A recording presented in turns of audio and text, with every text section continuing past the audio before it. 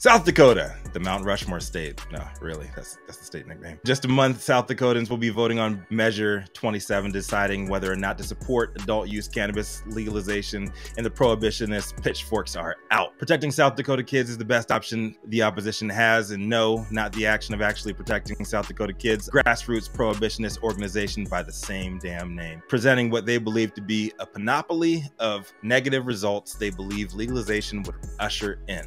James Kinyon, Ed Moses, and Christy Cricket Palmer last Thursday at Aberdeen Sacred Heart Catholic Church did not disappoint. Moses bypassed salutations and got down to business right off the rip, drawing from the greatest hits catalog of debunked statistics. Legalization increases teen consumption. All data proves otherwise. Legalization results in higher rates of cream vomiting than states have been reporting.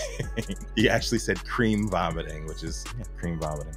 And uh, cannabis causes negative effects on brain functioning caused by long term use, which is not reversible. There's no claims or any connections to that, that quote. He just threw that out there. So, you know, big ups to Moses. Children are not protected with this. It can cause a permanent drop in intelligence and interferes with the exchange of information between neurons. I am 27 campaign manager told American News that while the passage of measures would make recreational cannabis legal, it's up to the states to create laws governing sales and to regulate the industry, which is right, brother. Local officials have the prohibitionist backs. Two Sioux Falls officials insisted that cannabis legalization promotes crime and violence. Mayor Paul TenHaken disagreed that state prisons are full of people with cannabis convictions, contending that crime would not drop if marijuana was legal, but rather the opposite, noted that the black market is flourishing even in places where cannabis is legal. How can you compete against someone who says, I'm going to bypass the laws, I'm going to bypass the permits, I'm going to bypass all the other things and just grow illegally? I don't have to pay pay your taxes, insisting that communities are not seeing any benefit from cannabis sales. Any revenue realized is used to deal with the unintended consequences, treatment issues, crime issues,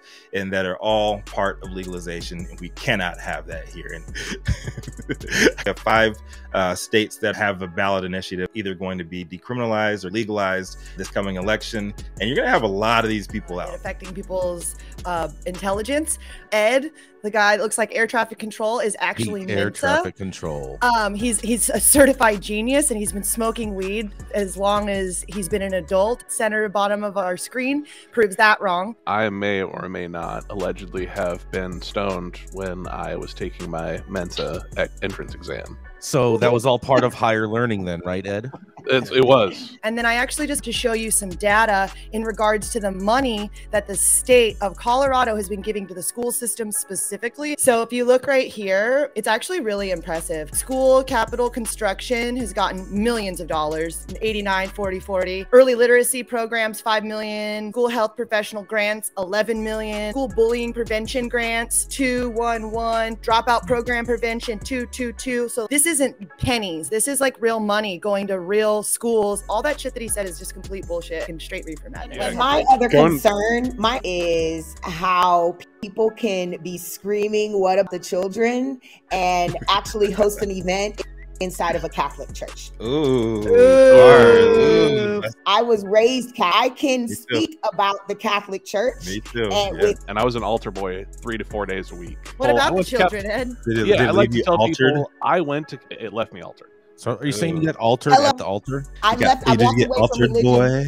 I, I didn't even altered at the I didn't even. Every what time what somebody strong, says, "What about the children?" What about the children? Not to sound too Republican here, but what about the fucking parents? I mean, come on. Where are I like family that. values, taking care of and making sure your kids aren't doing what they're not supposed to do? I'm Yeah. so sick of us having to protect the children.